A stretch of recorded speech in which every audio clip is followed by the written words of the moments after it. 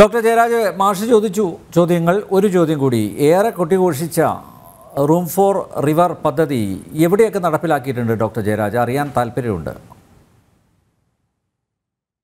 Run four river മാത്രമല്ല രണ്ടായിരത്തി പതിനെട്ട് ഇപ്പൊ ടി പി ജയചന്ദ്രൻ പറഞ്ഞ ഒരു കാര്യം എനിക്ക് രസകരമായിട്ട് തോന്നിയത്. രണ്ടായിരത്തി പതിനെട്ടിലെ പ്രളയം ഉണ്ടായത് മുപ്പത്തിനാല് ഡാം തുറന്നു വിട്ടുകൊണ്ടാണെന്ന് ഒരു കാര്യം ഇവിടെ പറയുണ്ടായി. അതൊക്കെ ധരിച്ചു വെച്ചിരിക്കുകയാണ്. ഇപ്പോഴും ഇത്തരം സാഹചര്യങ്ങളൊക്കെ വ്യക്തമായ സ്ഥിതിയിൽ അതിനൊക്കെ വസ്തുതയുണ്ട്. അതൊന്നും തള്ളിക്കളയാൻ പറ്റില്ല ഡോക്ടർ ജയരാജ്. അല്ല ഇപ്പൊ ഈ അരുവിക്കര ഡാം തുറന്നു വിട്ടുകൊണ്ടാണ് ജഗതിയിൽ വെള്ളം പൊങ്ങി എന്ന് പറയുന്ന അവരായിരിക്കും അത്തരത്തിലുള്ള ഒരു അഭിപ്രായം രേഖപ്പെടുത്തുന്നത്. അതുപോലെ തന്നെ ഇവിടെ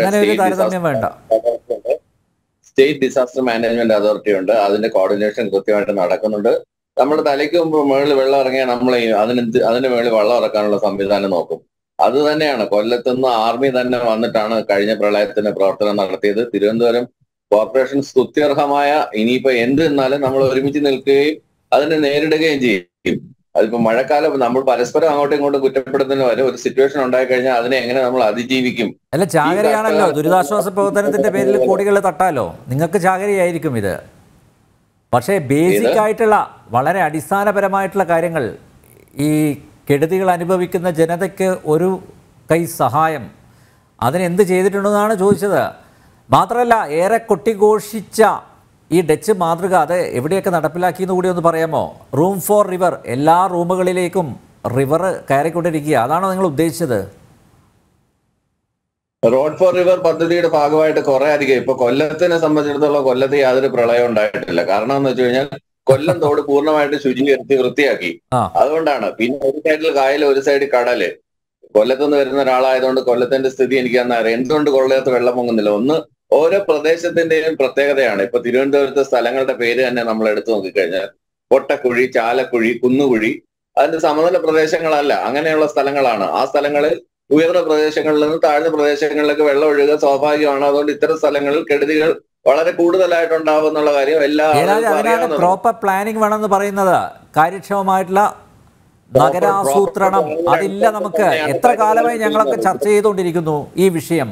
നോക്കൂ ഓപ്പറേഷൻ അനന്ത എന്ന് പറഞ്ഞ് കോടികൾ ചെലവഴിച്ച ഒരു പദ്ധതി നടപ്പിലാക്കിയിരുന്നു. ജിജി തോംസൺ ചീഫ് സെക്രട്ടറി ആയിരിക്കുമ്പോൾ ഡോക്ടർ ബിജു പ്രഭാർ ജില്ലാ കളക്ടർ ആയിരിക്കുമ്പോൾ അല്ല നോക്കൂ അവിടെ തമ്പാനൂരിലെ അതുപോലെ കിഴക്കേക്കോട്ടയിലൊക്കെ വെള്ളക്കെട്ട് ഒഴിവാക്കാൻ വേണ്ടിയായിരുന്നു കോടികൾ ഒഴുക്കിയത്. എന്തുണ്ട് തമ്പാനൂർ തമ്പാനൂര് തമ്പാനൂരത്തെ കാര്യം പറയുകയാണെങ്കിൽ തമ്പാനൂര് റെയിൽവേയുടെ സ്ഥലത്ത് റെയിൽവേ സ്ഥലത്ത് അടിഞ്ഞുകൂടുന്ന ഇതാണ് പാർവതി പുത്തനാറിൽ പ്രശ്നം ഉണ്ടാക്കുന്ന. കണ്ടുകൊണ്ട് ആ ഭാഗം വൃത്തിയാക്കിയപ്പോൾ തമ്പാനൂർ റെയിൽവേ ബസ് സ്റ്റേഷനിലെ വെള്ളക്കെട്ട് പൂർണമായിട്ട് ഒഴിവാക്കാൻ കഴിഞ്ഞു. ഇപ്പോഴൊരു മഴ പെയ്ത് കഴിഞ്ഞാൽ ആളുകൾക്ക് മുമ്പ് പോകണമെന്ന ഒരു സ്ഥിതിയിലൂടെ ഒന്നും തമ്പാനൂരോട്ട് ഇപ്പൊ പോകേണ്ടി വരുന്നില്ല. ഈ മഴയുടെ അടിസ്ഥാനത്തിൽ കഴിഞ്ഞ ദിവസവും ഞാൻ അവിടെ പോയിരുന്നതാണ്. അപ്പൊ അത്തരത്തിലുള്ള പ്രവർത്തനങ്ങൾ അത് വളരെയേറെ ഒരു ഒന്നോ രണ്ടോ മൂന്നോ ദിവസം തിരുവനന്തപുരം മേയർ അവിടെ കുത്തിയിരുന്ന് സമരം ചെയ്യുന്നതിന്റെ ഭാഗമായിട്ടാണ് റെയിൽവേയുടെ സ്ഥലത്ത് ക്ലീൻ ചെയ്യാനായിട്ട് അവർ അനുവദിച്ചത്. അതിൽ മറ്റു വാഹനങ്ങൾ അകത്ത് കയറ്റില്ല. അറിയാമല്ലോ ആ സംഭവങ്ങളൊക്കെ. അപ്പൊ അങ്ങനെ ഓരോ സ്ഥലങ്ങളും നമ്മൾ ഫൈറ്റ് ചെയ്തും ചില സമയ സ്ഥലങ്ങളിൽ കേസ് കൊടുത്തും ചില സ്ഥലങ്ങളിൽ കുടിയൊഴിപ്പിച്ചും ഒക്കെയാണ് കാര്യങ്ങൾ ചെയ്തുകൊണ്ടിരിക്കുന്നത്. നഗരം വൃത്തിയാക്കാൻ വേണ്ടിയിട്ടുള്ള ശ്രമങ്ങൾ. ഒന്നും ചെയ്യുന്നില്ല ഒരു പ്ലാനിങ്ങും ഇല്ല എന്നൊക്കെ നമുക്ക് അങ്ങനെ അങ്ങ് കാടടച്ച് നമുക്ക് വെടിവെക്കാനൊന്നും ആവില്ല. ചെയ്യുന്ന കാര്യങ്ങൾ ചെയ്യുന്നു. അതുകൊണ്ടാണ് തിരുവനന്തപുരത്തെ മേയർ ആര്യ രാജേന്ദ്രൻ കൂടി പങ്കെടുത്ത യോഗത്തിൽ മന്ത്രി ശിവൻകുട്ടി അവരെ ശാസിച്ചിരുന്നു. വാർത്തകളൊക്കെ പുറത്തു വന്നതാണ്. ഡോക്ടറും അത് അറിഞ്ഞു കാണും. അല്ല അല്ല mayor മേയർക്ക് K S R T C bus ഡ്രൈവറുമായിട്ട് കലഹിക്കാനേ സമയമുള്ളൂ. അത് കഴിഞ്ഞാൽ മൂന്നാറിൽ സുഖവാസത്തിന് പോകണം ഇതൊക്കെയല്ലേ നടക്കുന്നത്? എവിടെയാ തദ്ദേശ സ്വയംഭരണ വകുപ്പ് മന്ത്രി എവിടെയാ പോയിരിക്കുന്നത് ഡോക്ടർ ജയരാജ്? ഇനി പുതിയ പദ്ധതി പദ്ധതിയെ കുറിച്ച് പഠിക്കാൻ വേണ്ടിയാണോ? ഏതാ? ആളുകൾ പോകാറില്ലേ? ആരും യാത്ര ചെയ്യാറില്ലേ?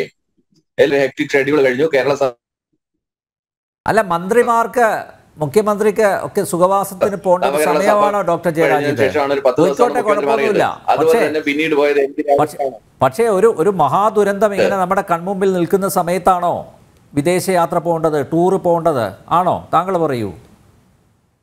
ഈ പറഞ്ഞതുപോലെ അത് എല്ലാ കാര്യങ്ങളും എല്ലാവരോടും പറഞ്ഞു തരാൻ പോകുന്നത് ഇപ്പൊ ആരോഗ്യ ചികിത്സയ്ക്ക് പോകുന്നത് സുഖവാസം എന്നൊക്കെ പറഞ്ഞു കഴിഞ്ഞാൽ അത് വേറെ ഏതെങ്കിലും യെസ് ഡോക്ടർ ജയരാജിന്റെ ആ പേരിട്ട് നമ്മൾ അതിനെ വിളിക്കേണ്ടി വരും. അപ്പൊ അങ്ങനെ നമുക്ക് എങ്ങനെ വേണമെങ്കിൽ അത് ഇപ്പൊ നമ്മളുടെ പ്രശ്നം ജയരാജ് പറയാം. താങ്കളുടെ എന്താണ്? ഇതിനെ നമ്മൾ പരിഹരിക്കുക. സ്റ്റേറ്റ് ഡിസാസ്റ്റർ മാനേജ്മെന്റ് അതോറിറ്റിക്ക് അതിന്റെ കൃത്യമായിട്ടുള്ള ഒരു പ്ലാനിംഗ് ഉണ്ട്. ആ പ്ലാനിങ്ങിന് അടിസ്ഥാനത്തിൽ തന്നെയാണ് കാര്യം നീങ്ങുന്നത് അതുകൊണ്ടാണ് ഞാൻ പറഞ്ഞത് തലയ്ക്ക് മുകളിൽ വെള്ളം വന്നാൽ അതിന്റെ പേര് വെള്ളം ഇറക്കാൻ റെഡിയായി തന്നെയാണ് ഇരിക്കുന്നത്. അതിനകത്ത് യാതൊരു സംശയം വേണ്ട. അത് ചെയ്ത് കേരളത്തിൽ കാണിച്ചവരാണ് ഇവിടുത്തെ ഇടതു മുന്നണി സർക്കാർ. അതിനകത്തൊന്നും യാതൊരു സംശയം വേണ്ട.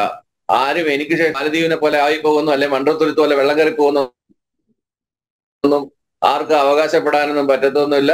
അങ്ങനെ നടക്കാനും പോകുന്നില്ല. അങ്ങനെ അങ്ങനെ ഭയപ്പെടേണ്ടുന്ന കാര്യവും